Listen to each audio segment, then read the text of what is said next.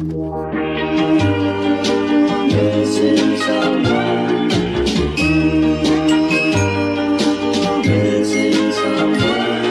someone. Hi! Uh, of a long time no see. Top of the tripod mic.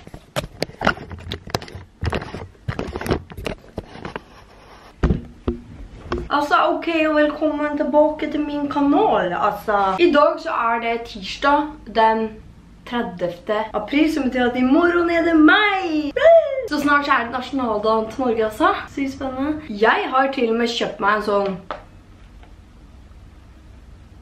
bullet journal, holdt jeg på å si, bare at jeg ikke gjør sånn som Mina Jacobsen. Jeg har ikke tid til sånt. Hun er syk i huet som greier de i det hele tatt å se bra ut. Jeg. Men det er i hvert fall bare en sånn kalender på en måte som jeg skriver opp planene mine. Ja. Jeg kjøpte den for litt siden, så har jeg ikke så mye planer, men jeg har skrevet opp liksom hva jeg skal. Nei, hva er vitsen egentlig? Jeg skal ikke skrive noe nå. I dag, eller nå er klokka 12, 10 over 12, og jeg har vært våken siden klokka 7 faktisk. Jeg har gjort litt sånn ære og shit. Men jeg har faktisk fått døgnrytmen på plass. Det er veldig sjelden jeg står opp sent, men det har jo liksom ikke vært så mye meg i det siste, holdt jeg på å si. Fordi jeg har vært syk. Etter jeg kom hjem fra Bali, jeg var jo i Bali i cirka to uker, og etter jeg kom hjem fra Bali så ble jeg syk i påsken, fordi jeg kom hjem og drakk alkohol, og så bare... Det gikk ikke bra. Så jeg fikk ikke være med på uh, Splay Day og det er, så det suger skit. Nei, altså... Så det som er planen i dag er noe sinnssykt spennende, synes jeg, fordi nå er det endelig begynt å bli sommer, og nå kan jeg endelig sette på litt planter på terrassen min, fordi i fjor så brukte jeg ikke terrassen i det hele tatt, og i år så har jeg litt lyst til å gjøre det, fordi den er bitteliten, altså, den er jo mindre enn badet mitt, så det sier jo litt, for badet mitt er lite. Men jeg tenkte å dra på plantasjen, kjøpe noe skitt, og så dra på Klaas Olsson og se om jeg finner noen krakker til å sitte på nå. Fordi det er litt hyggelig å sitte der ute, liksom, ta et glass vin eller en øl eller et eller annet shit når, når det, når det gjelds, typ. Jeg venter nå på Milda for at hun skal komme, og så skal vi gjøre det. I kveld så skal jeg vel på trening. Jeg var på trening i går etter en uke med sykdom, fordi jeg trente en gang etter jeg kom hjem fra badet, men så ble jeg jo syk, ikke sant? Sånn.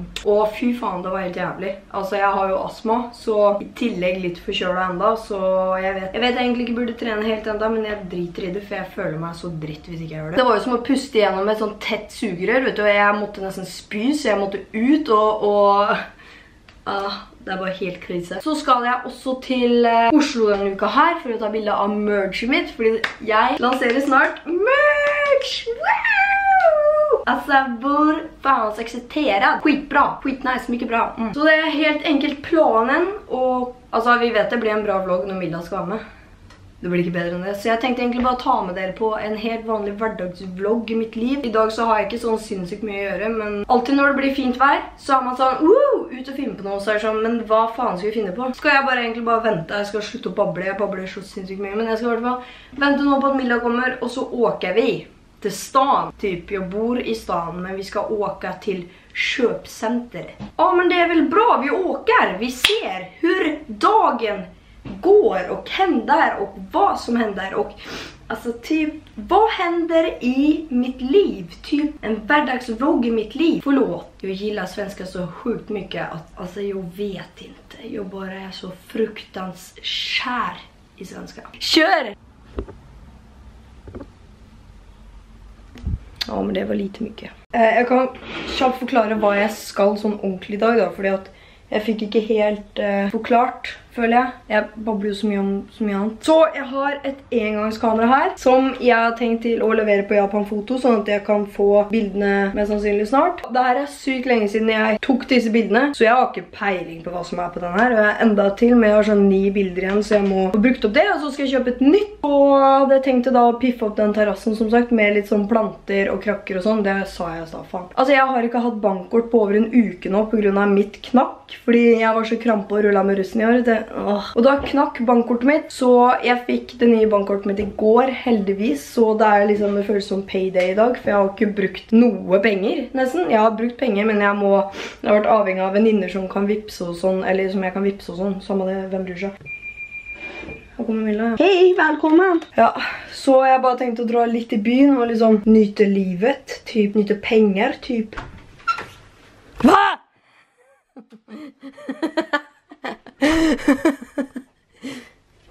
Nei, Lear. Tenkte du satt i stua. Nå skal vi på plantasjen.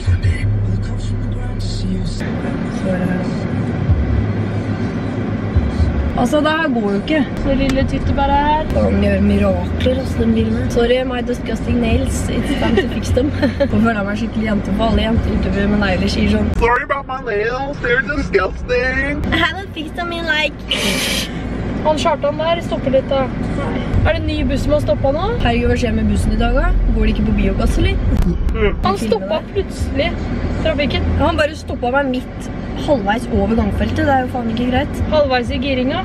Og der er jo så krasjer bussen i lysstolpen. Det hadde vært flott. Hva var det han Kjartan der står og venter på? Opp der, eller? Åh. Åh, men hur i helvete skal jeg komme Ja, inn her, eller? Skjønn dag. Det er 25 grader ute, liksom. Det er jo global warming. The- Jorda vår brenner. Ja.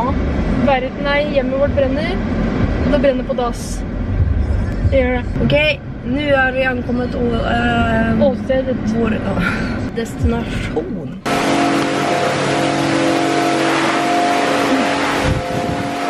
Ok, så det som skjer nå, er at eh, vi har kjøpt de blomstene jeg skal ha. Og jeg har også hengt opp disse tingene fra Claes Olsson som går på solcellepanel, så det er hyggelig. Da blir det kos her til sommeren, holdt jeg på å si. Uh, men greia er at, ja, dere ser jo hvor liten terrasse jeg har. Altså, jordbær. Se på den lille døra. Og så bare, det er det. Og jeg tenkte egentlig at jeg skal begynne nå å putte opp jord og putte opp i planter i den tingen her, som jeg kjøpte på Claes Olsson. Ganske grei.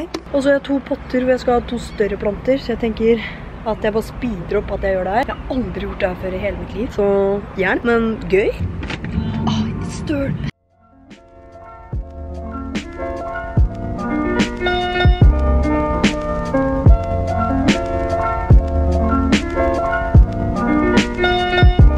Sånn ser blomsterbedet ut nå. Jeg har litt stemorsblomster her. Altså, det ble veldig sånn Jeg har aldri gjort det her før, så jeg vet ikke om det ble bra engang. Og så har jeg noen andre blomster her, og en annen blomst her. Oi. En blomst der. Så har jeg to sånne typer kaktuser her. Så har jeg en gul blomst her. Og stemorsblomster her. Altså, det ble kjemperart plassert. For det ble sånn et eller annet som mangler her. Ja, ja. Men her, vet du, her har jeg jordbær. Så jeg håper disse jordbæra her blir noe av. Eh, Så vi får bare vente og se. Så sånn ser det ut nå. Så jeg skal hente de to andre plantene, og så skal jeg potte dem.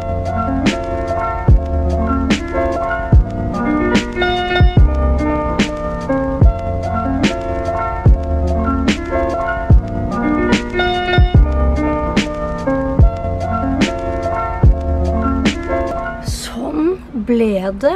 Her er blomsterbedet, og så her har vi en sånn Vet du hva, nå husker jeg ikke hva det heter engang, men sånn plante hvor det vokser sånn spiselige frukteting. Og et slags palmetre. Det er liksom så vanskelig å gjøre det her hos meg, for det er så veldig trangt her. Men jeg håper at jeg er i hvert fall litt mer koselig ut borti her. Og så tenker jeg at her, hvor jeg har det bordet, så har jeg tenkt å kjøpe to krakker sånn at man kan sitte her. Og da håper jeg det blir koseligere. Så ja, det var egentlig det jeg gjorde nå. Og nå hadde jeg tenkt å spise litt rester av salaten som jeg lagde i går. Faen, hvor er sola? Og jeg er veldig usikker på om jeg skal trene i dag, på grunn av at jeg har jo nylig vært syk, og jeg trente i går. Og jeg følte at det gikk Altså, jeg fikk ikke puste i går, så det er kanskje lurt at jeg tar en hviledag allerede i dag. Og så heller dra på trening i morgen igjen. Altså, se på den salaten her. Det er eh, kidney og kikerter, og så er det masse sånn forskjellige grønnsaker og sånt. Og så er det eh, cottage cheese, minst fett, holdt jeg på å si. Og så er det sånn der eh, dressing du lager selv, som er en sånn pose som du tar med vann og olje. Og det, altså, den er så jævlig god. Så den har jeg spist nå fire ganger, holdt jeg på å si, fordi jeg hadde så mye. Så har jeg et glass kaldt vann med sitron, og så har jeg litt jordbær der, men så skal jeg se litt på YouTube. Ehm, og så kan det mulig være at jeg skal henge med noen venner i kveld. Når og hvor og alt sånt der. Siden det er natt til første, så, første, så vil jeg ikke ut, men jeg vil liksom være med venner.